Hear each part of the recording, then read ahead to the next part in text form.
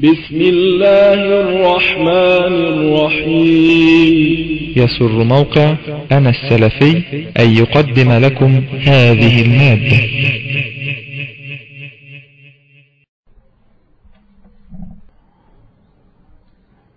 إن الحمد لله نحمده ونستعينه ونستغفره ونعوذ بالله تعالى من شرور أنفسنا ومن سيئات أعمالنا. إنه من يهده الله فلا مضل له ومن يضلل فلا هادي له وأشهد أن لا إله إلا الله وأشهد أن محمدا عبده ورسوله صلى الله عليه وعلى آله وصحبه وسلم ثم أما بعد. يقول الإمام ابن قدامة رحمه الله الأصل الرابع استصحاب الحال ودليل العقل. يقول اعلم أن الأحكام السمعية لا تدرك بالعقل. الأحكام الشرعية ويسمونها سمعية عكس عقلية إن في أمور تدرك بالعقل وهناك وأمور مضارها على السمع أن المكلف يسمع لأمر ربه عز وجل. فيقول الأحكام الشرعية هو سماها بالسمعية. فلأن هذه التسمية في حد ذاتها فيها أنها ليست عقلية. قال اعلم أن الأحكام السمعية لا تدرك بالعقل.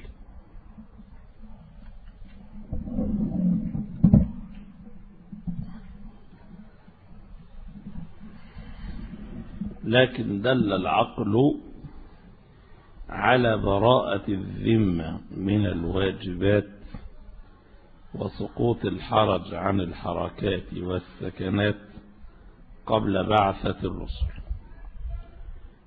استصحاب الحال هل هو دليل سمعي أم دليل عقلي؟ هو دي القضية لو يتكلم فيها دلوقتي استصحاب الحال معناها إيه؟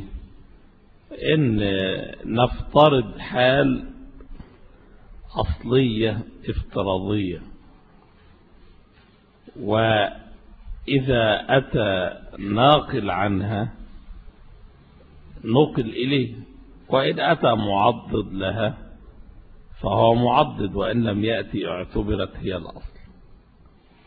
يبقى أنا أنت بتقول في شيء مش محتاج يتقال. ولو اتقال يبقى مزيد تأكيد. ولو اتقال خلافه يبقى خلاص واضح إن هنا في فيقول هنا آه يعني لولا هذه القاعدة كنا نقول إن في مسائل كثيرة مش لاقين لها حكم. لكن دل دليل الشرع والعقل على هذه القاعدة. فصار نقول ما فيش مسألة ملهاش حكم. ليه؟ لأن إحنا اللي ما نلاقيلهاش نص بيتعرض لها لا خاص ولا عام ولا منطوق ولا مفهوم ولا إيماء ولا إشارة ولا قياس ما جاش فيها حاجة خالص. نقول طب نشوف الأصل فيها إيه. ونعمل هذا الأصل وبنقول هذا حكم شرعي. وإن دل عليه في الجملة دليل عقلي. العقل هنا في فرق بين لما يبقى حكم شرعي دل عليه دليل عقلي. زي القياس. ما أنت بتعمل العقل في معرفة الأشباه والنظائر في خطاب الشرع. وهذا الإعمال العقل بيوصلك لدليل شرعي وليس عقلي مجرد. برضه هنا بتقول دليل العقل بيقول إن الشرع من لدن حكيم خبير. أمر العبادة بطاعته. يبقى لابد يكون ما سكت عنه آه، لابد وأن يكون قد أعلمهم بصورة أو بأخرى ماذا يتصرفون في حال السكوت. يبقى هو ده إيه؟ استصحاب الحال ساعات يسموه البراءة الأصلية وهو منشغل جدا كما ذكرنا أنه متأثر بما يقوله أو بما كتبه علماء الأصول من المتكلمين هل هنعتبر ده دليل عقلي ولا شرعي؟ وهو بيقول القاعدة عقلية. وتدل على أحكام شرعية تفصيلية. من عندنا في القاعدة في الأصول وبنستخدمها لاستخراج أحكام شرعية والقاعدة عقلية. بتقول البراءة الأصلية فلما يجي حد يسأل عن حكم أكل ثمار كذا أو أكل نبات كذا وندور نلاقي النبات ده له مسكر ولا كذا ولا ما نلاقيش في نهي عنه باسمه ولا نهي عن شيء لعلة موجودة فيه. وإلى آخره فنقول إعمالا لقاعدة البراءة الأصلية الحكم الشرعي لهذا الشيء الإباحة. يبقى القاعدة نفسها عقلية وتوظف في استنباط أحكام شرعية هذا إن سلمنا أن القاعدة عقلية. يعني القاعدة مما يستدل به عليها من جملة أدلتها دليل العقل لكن القاعدة ذاتها هناك أدلة شرعية عليها. ولكن أيضا لأن من صنف في الأصول من المتكلمين كأن سموا المسألة دي دليل العقل كأن هي دي وهو آية في الواقع قاعدة استصحاب الحال كقاعدة عليها أدلة بعضها عقلي وبعضها شرعي. ولو افترضنا جدلا أنه ليس عليها إلا الدليل العقلي فلا حرج لأن إحنا ما بننكرش أن العقل دليل. إحنا بننكر من يعارض الشرع بالعقل. وبرضه بننكر عليه إيه؟ بنقول له أكيد في حاجة خطأ. يعني إحنا لما بننكر على اللي بيعارض الشرع بالعقل بنقول له أنت راجع نفسك هتلاقي عمر ما الشرع والعقل يتعارضان لأن كلا منهما دليل صحيح في ذاته ولا يتعارض دليلان صحيحان. أما ليه نقول له إما أنت نظرت للمسألة نظر عقلي قاصر وإما أنك نسبت إلى الشرع ما ليس وهنا يقول إيه؟ هذا الدليل الشرعي يعارض ذاك الدليل العقلي. نقول له حاجة من اثنين يا إما الدليل اللي أنت مسميه شرعي هذا منسوب إلى الشرع وليس منه. وإما أن الدليل اللي أنت مسميه عقلي وهم وليس دليلا عقليا. طيب يقول أنه احتمال فيهم أرجح. نقول له لو رديت الأمر إلى عالمه سيجيبك لكن على الأقل الدليل الشرعي أضبط أن إحنا نبحث فيه. معروفة قواعد القبول والرد من حيث الثبوت ومن حيث الدلال. فلو جد الدليل الشرعي وعارض ما توهمناه نحن دليلا عقليا نتهم الدليل العقلي. ونفتش ما نسكتش برضه من باب الوصول إلى اليقين ومن باب دفع الشبهات مش هنلاقي بفضل الله تبارك وتعالى ولا مسألة رددناها رددنا فيها ما يبدو للعقل الأول وهلة وما وجدناش عور وما وجدناش مبرر يخلي إن النظر العقلي ده كان فعلا يستأهل أن يرد. من أشهر الأثار في هذا أثر علي رضي الله عنه لو كان الدين بالرأي لكان باطن الخف أولى بالمسح من ظاهر. وعايز يقول لك إيه؟ أنت عندك دليل شرعي ما تقولش بقى أتعارض بدليل عقلي ان معظم الناس ولكن المسألة دي مش إقرار من الإمام علي رضي الله عنه إن إنها هذه تخالف النظر العقلي. لا ده هو النظر العقلي يقول لك الشرع خفف عن لابس الخف. مش لازم يقلعه ويغسل رجله. ده تخفيف. يبقى خلاص الرجل ما ما, ما, ما لم لا تغسل بشروطها المعروفة ولا حاجة إلى شيء آخر.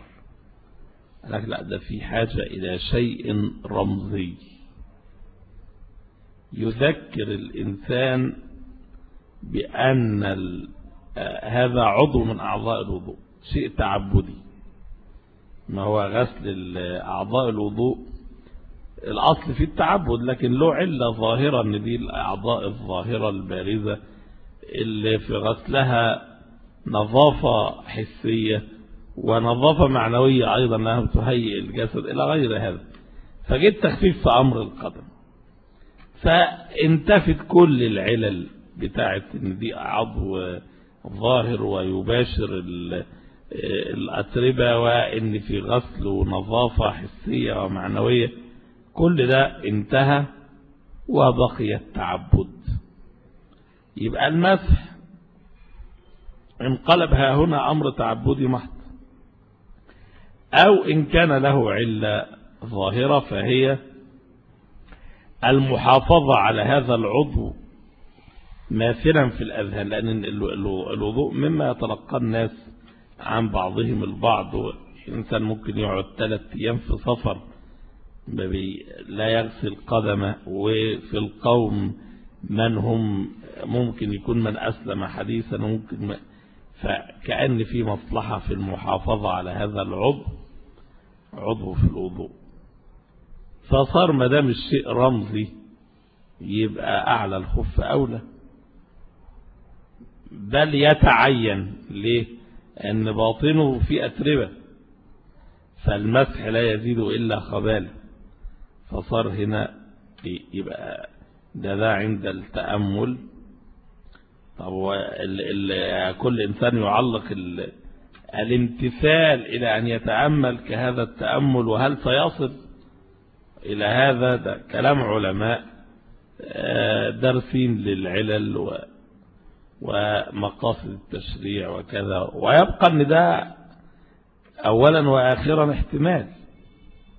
فيبقى القاعدة عند التطبيق تقول لو كان الدين بالرأي لكن كل واحد في كل مسألة شبه دي يخترع له رأي. ولكن الدين بالسمع والالتزام والامتثال.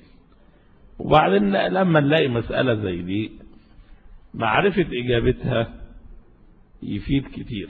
يفيد في معرفة العلل ومعرفة الأشباه والنظائر. يفيد في برد اليقين في دفع الشبهات في غير هذا. يبقى في النهاية إحنا آه لا ننكر أن العقل دليل. وننفي بنقول استحالة تعارض العقل مع الشرع استحالة.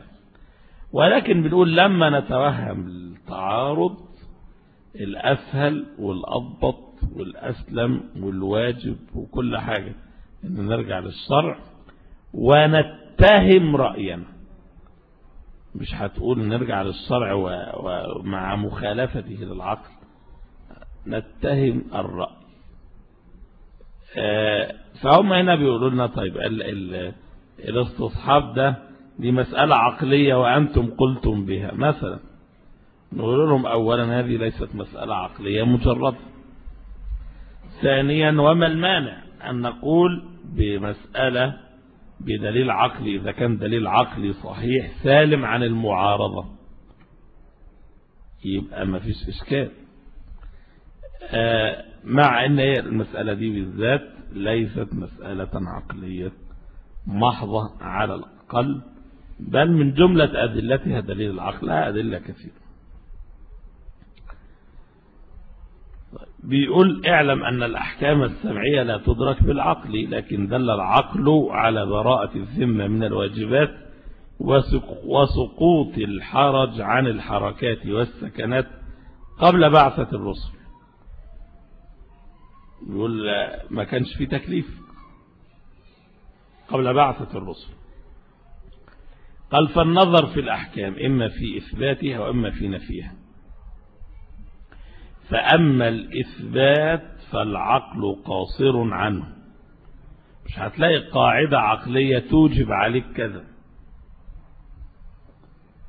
وأما النفي يقول ممكن العقل ينفي فالعقل قد دل على عليه إلى أن يرد دليل السمع الناقل فينتهض دليلا على أحد الشطرين ما يجيش واحد يقول ده حرام تقول له ليه؟ يقول لك دليل العقل. ده واجب ليه؟ لا. نقول لكن العقل ممكن يقول هذا مسكوت عنه والمسكوت عنه. معفو عنه فبيقول ده ينفع دليل. قال ومثاله لما دل السمع على خمس صلوات. يعني لك هل يجب في اليوم صلاة؟ هل يمكن؟ هل توجد صلاة سادسة واجبة في اليوم؟ قال لك دليل الشرع قال لك في خمس صلوات واجبة. واضح في فرق لما أقول لك توجد خمس صلوات واجبة؟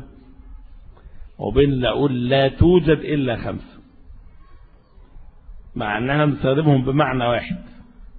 هو هنا عايز يفككهم ويقول لك أنت لما قلت لا يجب على المكلف إلا خمس صلوات في اليوم والليلة دي نتيجة مركبة من دليل شرعي ودليل عقلي.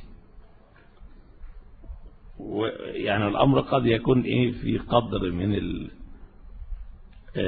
ال ال المشقة. إحنا مش شايفين فرق لكن هو فرق دقيق. وفي النهاية ممكن برضو استفاد من الشرع مش من العقل بس مش مشكلة. لما أجي أقول لك إن أنت واجب عليك أنت مدين بكذا. وبعد شوية أقول له هو في دين آخر مفيش مانع لأن هناك ما كانش الخبر الأول ما كانش على سبيل الحصر. أثبت إنك مدين ولكن أنت مدين للبائع الأول بكذا. ما تعرضش للبائع الثاني.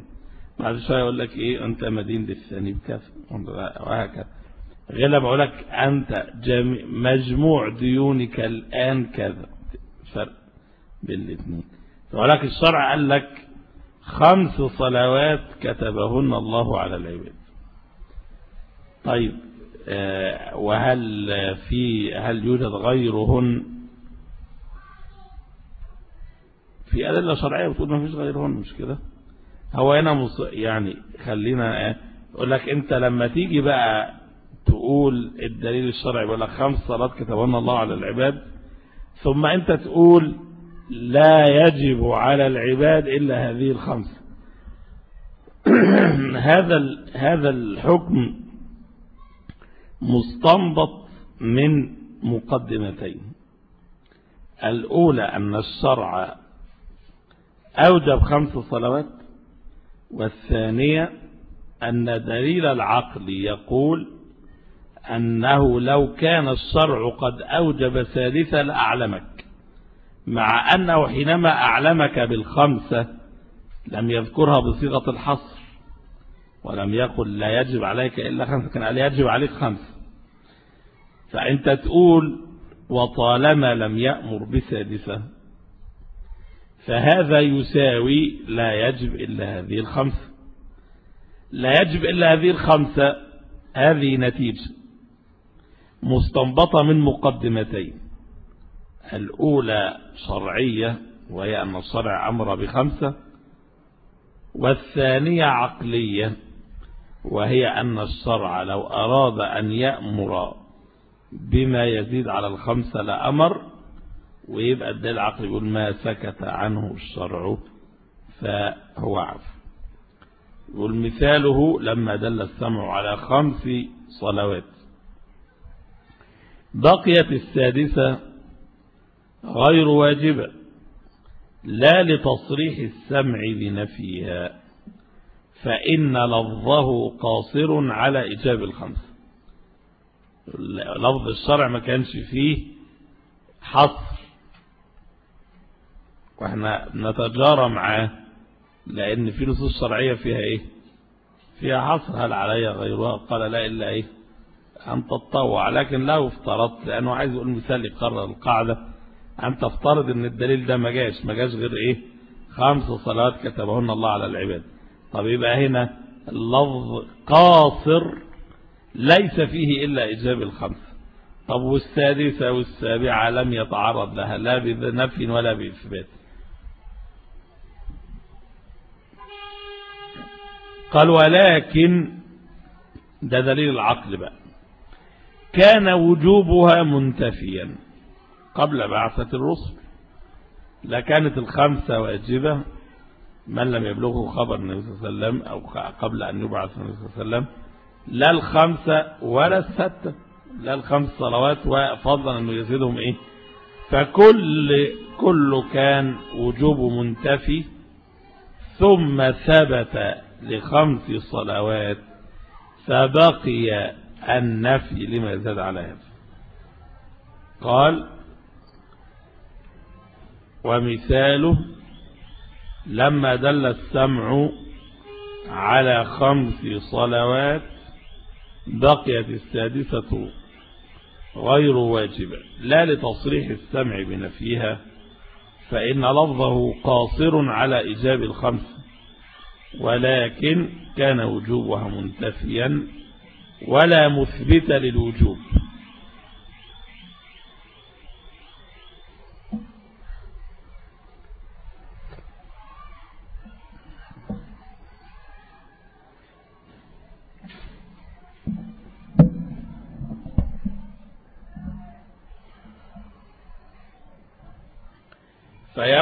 على النفي الأصلي.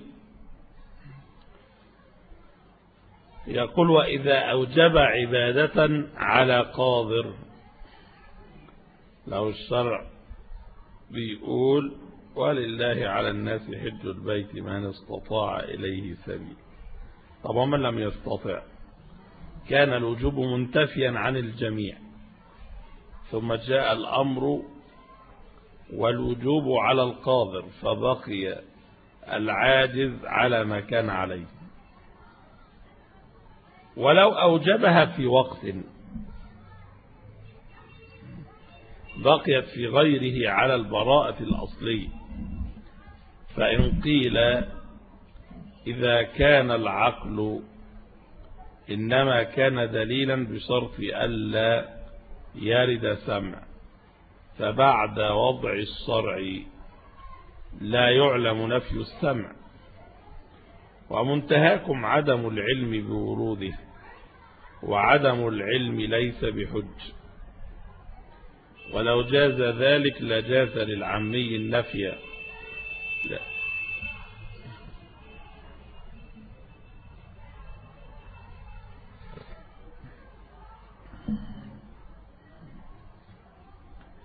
قال ولو جاز ذلك لجاز للعمي النفي.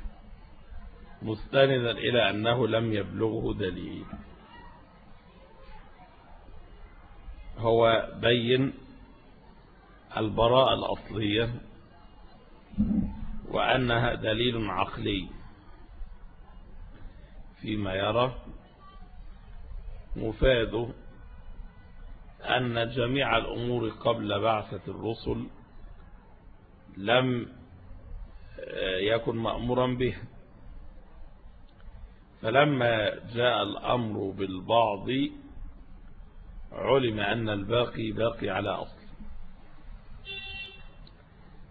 فبيقول طيب ناس بيقولوا أنت قلتم كان العقل يدل على البراءة حتى يأتي شرع. وكأنهم سلموا بذلك. ولكن بدأوا يتشككوا في قدرة المجتهد على أن يزعم عدم وجود الدليل الشرعي. أنا دلوقتي لما نيجي نسألك عن حكم أكل هذه المأكولات أنواع الفواكه التي لم تكن موجودة على عهد النبي صلى الله عليه وسلم أنواع الخضروات أنواع كذا. بتقولوا إيه؟ بتقولوا إحنا في دليل إن كل الأشياء كانت مباحة. ما لم يرد نص ونبحث هل هذا الشيء نهي عنه بدليل خاص أو عام أو بقياس. ثم يأتي المجتهد ويقول فتشنا فلم نجد نهيا عن هذا الشيء. لا خاص ولا عام ولا هو يشبه ما نهي عنه. إذا فلم يرد دليل شرعي ينقل عن البراءة الأصلية فيفتى بها. قال له طب من أين للمجتهد؟ هذا الجزم. فكأنهم بيقولوا المجتهد البراءة الأصلية. دليل صحيح في ذاته ولكن المجتهد مش هيعرف يوصل مش هيجي في مسألة ويقدر يجزم بعدم ورود الدليل. لعله ورد ولم يبلغه.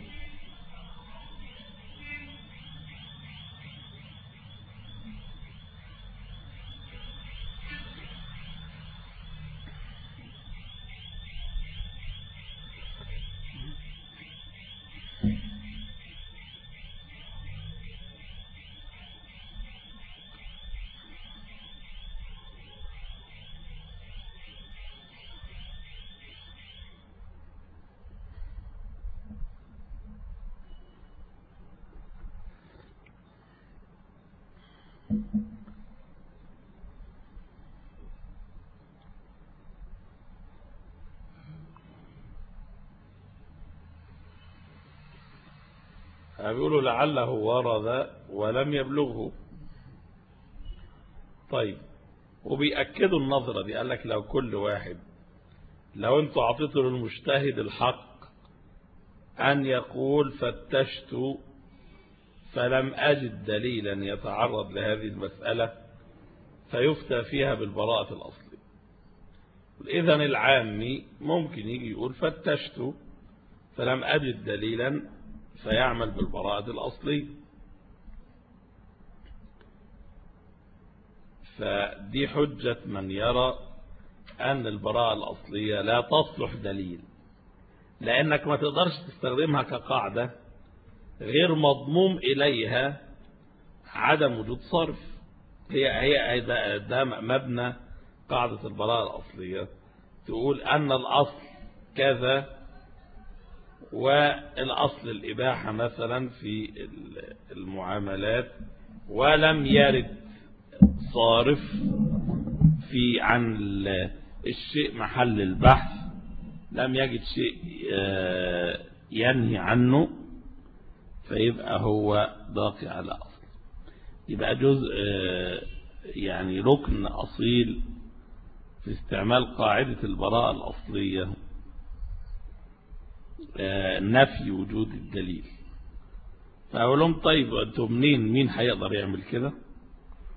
ولو جوزتم للمجتهد ذلك هل ستجوزون للعامي ومعنى كده العامي لن يكون بلغوا أدلة عن حرمة كثير من المحرمات. وبالتالي يبقى هل في حقه صارت مباحة؟ ده السؤال. بيقول الإمام ابن خدامة قلنا إجابة لهؤلاء. انتفاء الدليل قد يعلم وقد يظن. قد يعلم علم يقيني. وقد يظن ظنا راجحا. قال انتفاء الدليل قد يعلم وقد يظن. فإنا نعلم أنه لا دليل على وجوب صوم شوال. للإجماع إن إيه لا يجب إلا صوم إيه؟ رمضان. ولا صلاة ثالثة. إذ لو كان لنقل وانتشر ولم يخف على جميع الأمة. وهذا علم بعدم الدليل. لا عدم علم بالدليل.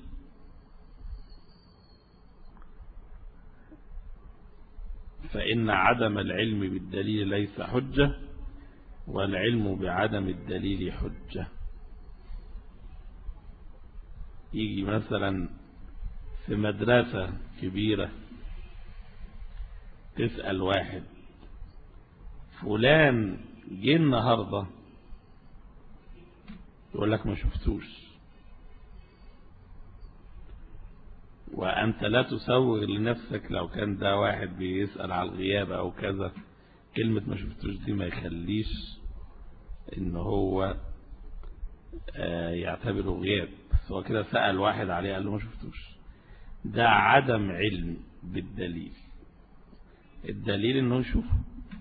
ويقول لا أنا ما, ما, ما لم يصل إلي هذا الدليل.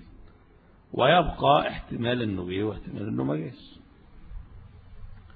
طيب إمتى نقول آه ما جاش واحد يقول لك لا ده هو النهارده في بيتهم. ده لسه مكلمه مثلا في التليفون. أو هو مريض محجوز في المستشفى. أو هو المهم يبقى ده إيه؟ عنده علم بعدم وجود هذا الشخص. مش عنده عدم علم بوجوده. اللي يقول ما شفتوش ده يقول لك أنا ما عرفتش إنه جه النهارده. وارد يكون جه وارد يكون ما جاش. يقول لك لا أنا أعلم أنه ليس موجودا الآن و لأن في دليل عنده فعدم العلم بالدليل ليس دليلا على العدم. يبقى في فرق بين انك تقول لا أعلم دليلا وإنك تقول لا يوجد دليل. زي الفرق إنك تقول لم أرى فلانا اليوم في العمل أو في المدرسة أو في كذا وإنك تقول بل هو غائب اليوم بل أعلم أنه لم يأتي. طيب. قال لك طب وإحنا هنبني الأحكام على إيه؟ على اليقين وعلى الظن الراجح. عند غياب اليقين يبقى الأمر مبني إيه؟ على اليقين وعلى الظن الراجح عند غياب اليقين. حتى في المثال اللي قلناه ده في الشركات وغيرها بيقولوا اللي وقع في كشف الحضور يبقى ده دليل على وجودي طب واللي ما وقعش يقولوا لا يوجد دليل على وجودي وحيث أنه يعلم أنه ما لم يوقع سيعتبر غائبا. فكونه لم يقم الدليل على وجوده يساوي دليل على غيابه مع أن دي غلب الظن ممكن يكون وجد ونسى وساعتها ده في أمر من أمور الدنيا. ناس تعمل إيه؟ في لوائح يقول لك لا خلاص ما وقعش. لو جاب مليون شاهد بعد كده. وفي يقولوا يحتمل إحنا بنينا على الظن الراجح. لأن هي الدنيا كلها كده ما ينفعش يشترط اليقين في كل حاجة. بنينا على الظن الراجح إنه ما وقعش.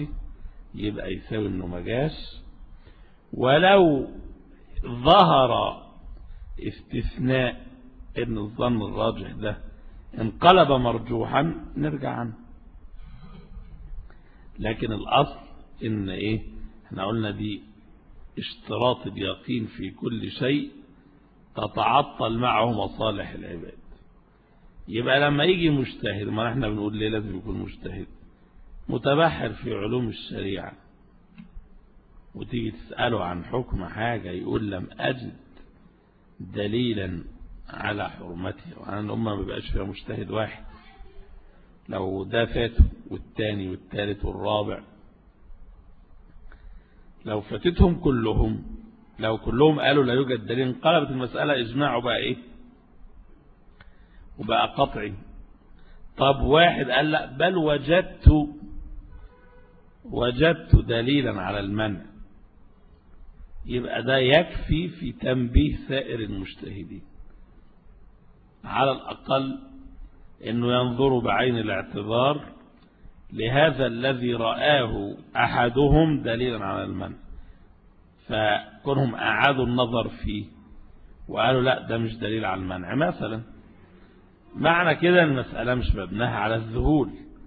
فاشتراط إن الأمة كلها تذهل إن يبقى في دليل على المنع والأمة كلها تذهل عنه ده في غاية البعد. بل إنه حتى لو ذهل عنه الأكثرون وانتبه إليه واحد الأكثرون ده هيعيد النظر في المسألة. ويبقى في النهاية إنه لما كل دول يقولوا لا يوجد دليل إحنا بنقول أو يعني جمع كبير منهم أو المجتهد لوحده اللي لسه ما يعرفش بقية المجتهدين هيقولوا إيه؟ ده عنده ظن راجح إنه عارف أدلة الأحكام كويس وعارف مصادرها ويوجد لديه ظن راجح أنه طالما فتش فلم يجد أن المسألة مما لم يتعرض له. فيبتدي يطبق قاعدة البراءة الإيه؟ الأصل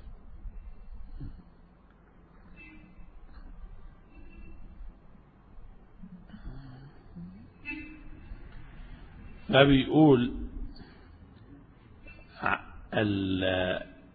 المسألة انتفاء الدليل قد يعلم نقدر نجزم بعدم وجود دليل وقد يظن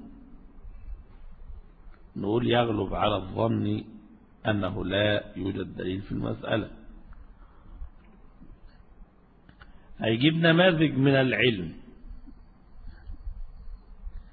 قال فإنا نعلم أنه لا دليل على وجوب صوم شوال ولا صلاة ثالثة. إذ لو كان لنقل وانتشر ولم يخفى على جميع الأمة وهذا علم بعدم الدليل. لا عدم علم بالدليل فإن عدم العلم بالدليل ليس حج. والعلم بعدم الدليل حج. وأما الظن فإن المجتهد إذا بحث عن مدارك الأدلة فلم يظهر له مع أهليته واطلاعه على مدارك الأدلة وقدرته على الاستقصاء وشدة بحثه وعنايته غلب على ظنه انتفاء الدليل. فنزل ذلك منزلة العلم في وجوب العمل لأنه ظن استند إلى بحث واجتهاد وهذا غاية الواجب على المجتهد. يبقى ده كده بيانا للمجتهد. متى لم يجد دليل كان هذا ظن الراجح بعدم وجود الدليل أصلا؟ وصار متعبدا في أن يبني عليه علمه وعمله. طيب فاضل جزء تاني من اعتراض هؤلاء المعترضين. أنهم قالوا فإن جوزتم ذلك فإن جوزتم ذلك للمجتهد. فهل ينسحب بالضرورة على العام الذي يقول لم يبلغني دليل لم يبلغني في هذه المسألة دليل؟ يقول لا العام مش من حقه يعمل كده. يقول وأما العامي فلا قدرة له. فإن الذي يقدر على التردد في بيته لطلب متاع إذا فتش وبالغ أمكنه القطع بنفي المتاع. والأعمى الذي لا يعرف البيت ولا يدري ما فيه لا يمكنه ادعاء نفي المتاع. دايما المتكلمين بيقعوا في مضايق عقلية من الناحية العقلية مضايق. وقياس مع الفارق وهم بيظنوا إن هم هم في عرف الناس في عرف الناس. واحد يجي يقول لك آه، مثلا كان ضيف عندك وفقد شيء. لو سمحت لو سمحت شوف لي الحاجة الفلانية. أنا كنت ضيف عندك وغالب الظن إنها وقعت في البيت.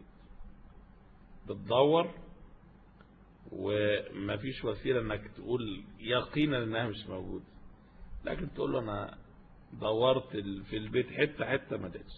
طب أنت أنت بره البيت أصلا. ما ينفعش تقول له ما أنا دورت حتة حتة وما لقيتش. أو تقول له إن أنا بذلت ما في وسعي وما لقيتش اذا ما تسألش تاني. أو هو فعلا لو تقول له أنا بذلت ما في وسعي ولم أجد هتبقى صادق. ولكن هذا ليس هي الدرجة اللي بها ترفع الحرج عنك.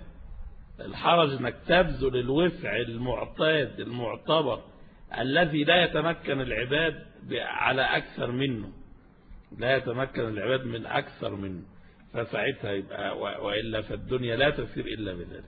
إنما لما يجي يقول له أنا خارج البيت ولا يمكنني البحث وده بقى أنا كده بذلت أقصى ما عندي إذا فهذا الشيء مش موجود.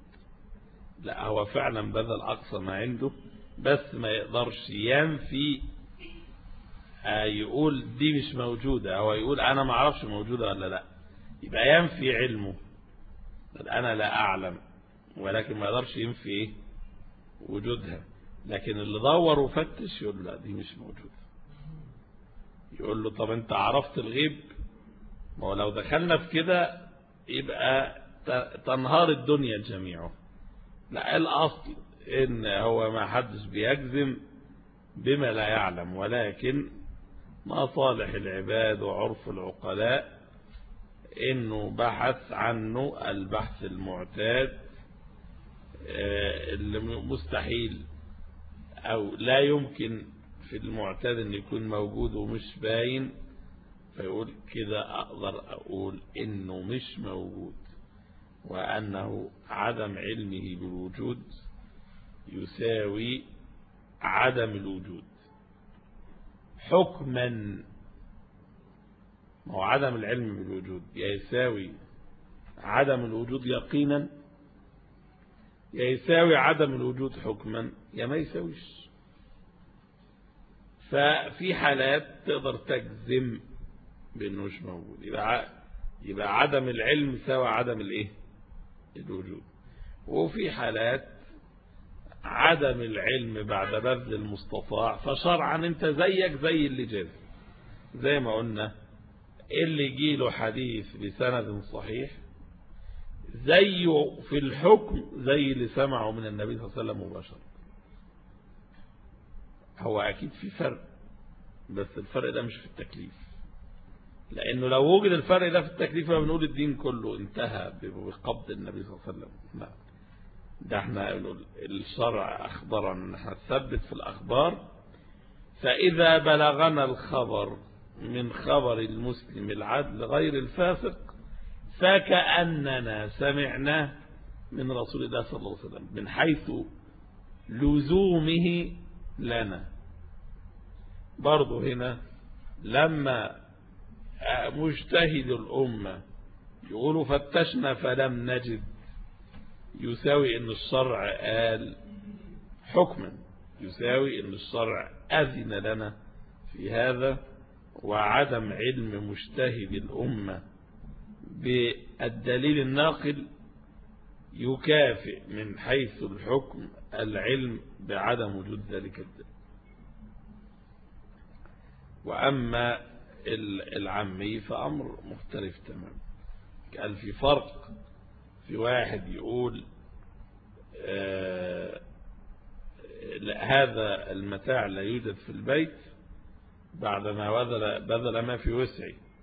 والتاني برضه بذل ما في وسعه لكن مش حقه يقول إن هذا المتاع لا يوجد في البيت لأنه ما زال في عرف الناس وفي قدراتهم مزيد بحث فما ينفعش ينفي. قبل ما البحث ده يتعمل رغم أنه فوق طاقته هو ولكنه في طاقة غيره أو فوق طاقته الآن ويمكن أن يتيسر بعده. طيب رجعوا تاني وهو ماشي معاهم لغاية الآخر. قالوا بيقول فإن قيل ليس للاستقصاء غاية محدودة بل للمجتهد بداية ووسط ونهاية.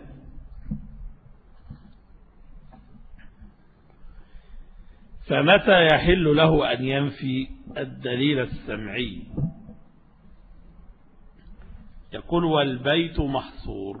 في مثالكم يعني بيقول في المثال اللي فات إحنا نقدر البيت محصور وطلب اليقين فيه ممكن. وانتوا جبتوا مثال غير منطبق.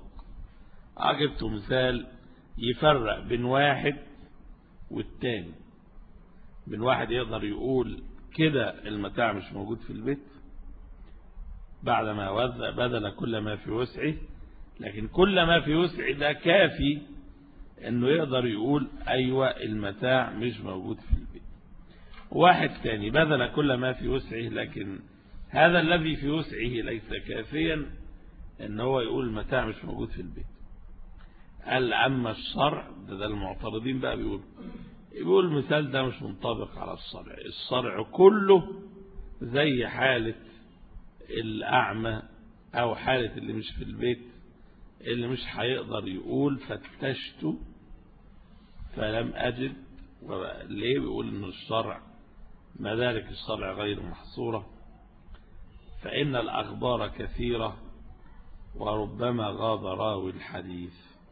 فيقول الشرع ما حدش هيقدر يقول فتشت في نصوص الشرع فلم أجد هذا الذي تقولون.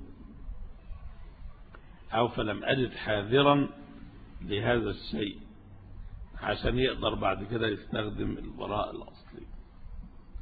يقول قلنا الإجابة على الشبهة دي. مهما علم الإنسان أنه قد بلغ وسعه فلم يجد أو بذل وسعه فلم يجد فله الرجوع إلى دليل العقل. في الواقع دول مش منتبهين إن وجود مسألة لا حكم لها تكليف بما لا يطاق. لازم تكون عارف. وإلا فترك المسألة في حد ذاته حكم. يبقى لازم لو هو مش عاجبهم قاعدة البراءة الأصلية طب يقولوا لنا هيعملوا إيه؟ في الأشياء الكثيرة الغير محصورة. ونصوص الشرع محصورة. هيعملوا إيه في كل الكلام ده؟ فبيقول هنا رد على الشبهة ديت آه إنه الإنسان متى بذل وسعة ووسعه دوت لو هو مجتهد خلاص طب مقلد يسأل المجتهدين. هو ده الوزن إذا بلغ إذا بذل ذلك الوزن فلم يجد فله الرجوع إلى دليل العقل. قل فإن الأخبار قد دونت والصحاح قد صنفت فما دخل فيها محصور وقد انتهى ذلك إلى المجتهدين وأوردوها في مسائل الخلاف. طيب برضو هم مش عايزين يسلموا. بيقولوا فإن قيل لما لا يكون واجبا لا دليل عليه أو له دليل لم يبلغنا. قلنا أما إيجاب ما لا دليل عليه فمحال لأنه تكليف ما لا هم برضو مسألة عقلية محضة. يقول لك يعني ينفع دلوقتي واحد يحفر حفرة ويداريها؟ هو حفرها محدش شافه ودرها وأجاد إخفاءه فكونه قد أخفاها لم ينفي كونها حفرة. فعدم وجود الدليل ده, ده, ده مسألة تانية بقى مش إن عدم العلم بالدليل. إحنا كنا بنتكلم إن عدم العلم بالدليل ليس بالضرورة علم بعدم الدليل. وتكلمنا فيها دي وقلنا إن المجتهد المتبحر في نصوص الشرع إذا لم يجد دليل يبقى عدم العلم بالدليل بالنسبة له علم بعدم الإيه؟ قال لك طيب خلينا جزمنا بعدم الدليل. جزمنا بالعلم بعدم الإيه؟ قال لك طب هو عدم الدليل يدل على عدم المدلول؟ صعبت شوية المسألة ولا إيه؟ يعني دلوقتي أنت تسأل واحد الطريق ده فيه حفر؟ يقول لك ما أعرفش. يبقى ده ما عندوش دليل على وجود حفرة ده عدم علم بالإيه؟ بالدليل. واحد تاني يقول لك أنا الشارع ده جبته من أوله لآخره دلوقتي حالا ما فيهوش ولا حفر. يبقى ده إيه؟ ده علم بعدم الدليل يقول ما فيش. طيب كونه قال لك أنا جبته من أوله لآخره ما فيش ولا حفرة. هل هذا ينفي بالفعل وجود حفرة؟ ولا ما زال في احتمال إن في حفرة مستترة واحد حفرها ودراها؟ يبقى في هنا لما في عدم علم بالدليل وفي علم بعدم الدليل. والعلم بعدم الدليل لا ينفي وجود الايه؟ المدلول. قال لك طب خلاص. ليه ما تقولوش أن هذه المسألة واجبة ولكن الشرع لم يقم دليلا على وجوبها؟ نقول له ده محال. شرعا ولا عقلا؟ وهو عقلا ممكن يوجد مدلول بلا دليل. ممكن توجد حفرة إيه؟ متغطية. لو أقول لك طب ما هو عقلا؟ أو في حفرة وإيه؟ ومتغطية. ففي شيء لا دليل عليه لكن الشيء نفسه إيه؟ موجود. يقول له الشرع مش هيبقى في أصل الحكم الشرعي خطاب الشارع للمكلفين. إلزام فالكلام متناقض في الآخر وصلنا. أقول هل في مسائل لم يلزمنا بها الشرع؟ آه في. لكن تقول هل في واجبات لم يعلمنا بها الشرع؟ طب الواجب هو ما ألزمنا الشرع به فإزاي يبقى في واجب؟ ومعناه خطاب وبعدين نقول إيه؟ لا دليل عليه لكن تبسط. قالوا لما لا يكون واجبا لا دليل عليه. الثانية أهون شوية. يقول أو له دليل لم يبلغنا. يعني النبي صلى الله عليه وسلم قال للناس مثلا على سبيل المثال لحم البقر حرام ده جدلا. والصحابة سمعوا الكلام ده وبعدين إيه؟ ما قالوهوش. فلما أجي إحنا نقول لحم البقر مباح الله طب ما هو ممكن يكون مثلا نهى عنه ولم يبلغنا. فالاحتمال ده كل الاحتمالات دي عقلا دي ناس بتفرض افتراضات عقلية مجردة. وبينسى إن في أمور أخرى لازم يدخلها حتى من الناحية العقلية. إن الدين لا يمكن أن يضيع. يبقى احتمال أن وسلم قال لهم إن ده حرام. وبعدين ما حدش من الصحابة بلغ طب ما كده كل واحد يقول احتمال يكون لحم الإبل حرام واحتمال يكون لحم البقر حرام واحتمال يكون لحم الغنم حرام واحتمال يكون كذا وكذا. كل حاجة احتمال تكون حرام واحتمال يكون أمرهم بصلاة سادسة. واحتمال يكون أمرهم بصيام شهر غير رمضان. يبقى كل لا بنقول عدم ورود الدليل يدل على عدم المدلول من الناحية الشرعية. لكن مسألة طب والمجتهد لما يقول لم يبلغه الدليل لو استقصى يساوي عدم ورود الدليل. يبقى المسألة كده مع أنه من الناحية العقلية في فروق لكن من الناحية الشرعية. أستقصاء المجتهد للمسألة وعدم وجود دليل عدم عثوره على دليل يساوي إن مفيش دليل وإن مفيش دليل بلغنا يساوي إن مفيش دليل أصلا. يبقى لما المجتهدين يدوروا ما يلاقوش يبقى لم يبلغنا دليل. ولم يبلغنا دليل تساوي لا يوجد دليل أصلا. وكل دوت لما تضيف إلى ذلك إن إحنا بنتكلم على شرع محفوظ. قل فإن قيل لما لا يكون واجبا لا دليل عليه. أو له دليل لم يبلغنا. قلنا أما إجاب ما لا دليل عليه فمحال. لأنه تكليف ما لا يطاق. ولذلك نفينا الأحكام قبل ورود الشرع والبحث يدلنا على عدم الدليل على ما ذكرنا. يقول وأما استصحاب دليل الشرع ده كل ده استصحاب دليل العقل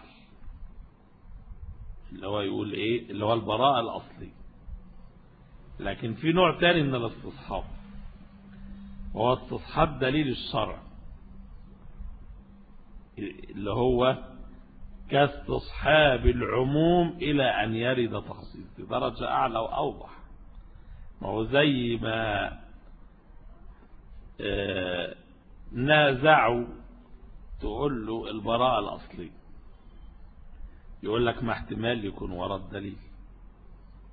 خلصنا من القصة دي هي هي بالضبط لو العكس بقى تقول له هذه هذا الشيء يندرج تحت عموم كذا. يقول لك وما أدراك أنه لم يخصص. يبقى مش هتعرف تعمل بأي عموم. بل لما تجيب نص يقول لك وما أدراك أنه لم ينسخ. يبقى ده يعطل وده بقى الجهال والمنافقين. كل ما حد يكلمهم في حاجة يقول لك أو أنتوا عارفين حاجة في الشريعة؟ ده في تخصيص وفي نسخ والنسخ والمنسوخ ده بحر لا ساحل له ما حدش في الدنيا يعرفه. وبالتالي هو كل ما تكلمه في حاجة يقول لك من وما أدراك أنها ليست بمنسوخ فهذا دجل وصفصط لا ال ال الأصل في العام أنه عام إلى أن يخصص. ونفي المجتهد نفي مجتهد الأمة أنه ما وصل لهمش مخصص. يدل على أنه لم يوجد مخصص. ونفس الاحتمالات.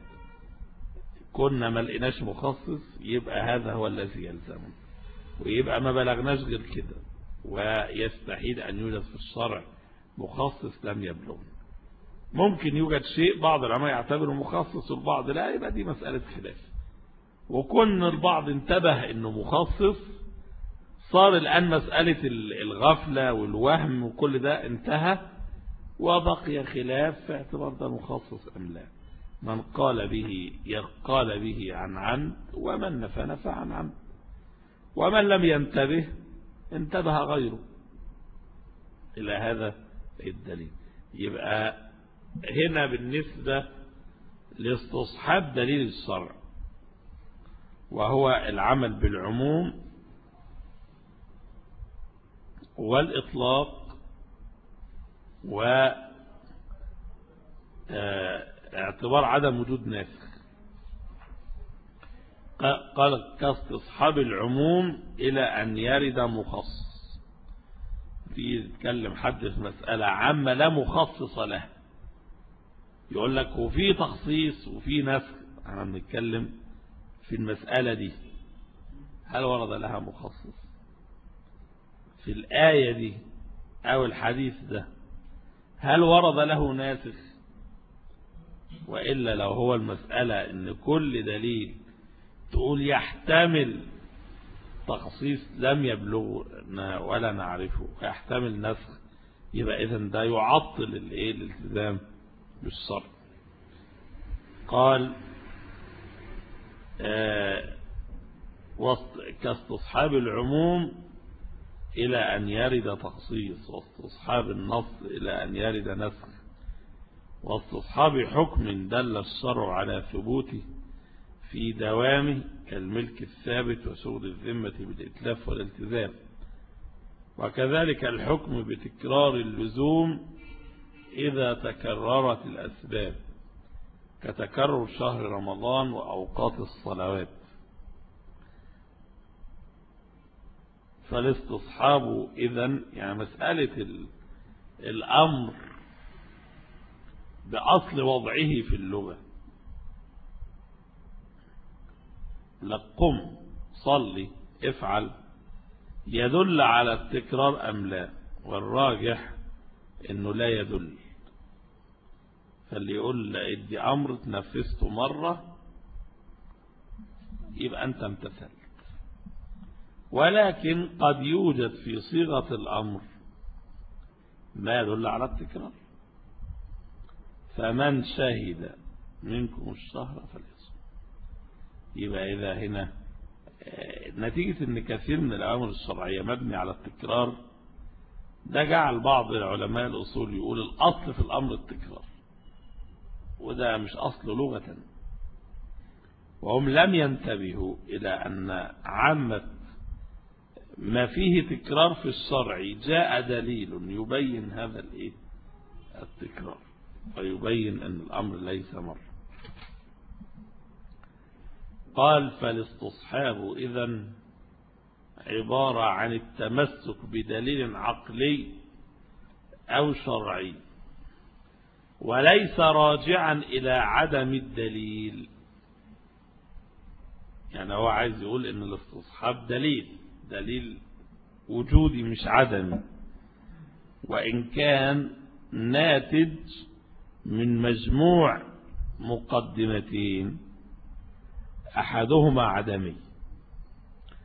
قال إذا فالاستصحاب إذا عبارة عن التمسك بدليل عقلي أو شرعي وليس راجعا إلى عدم الدليل بل إلى دليل دليل ظن مع انتفاء المغير أو العلم به.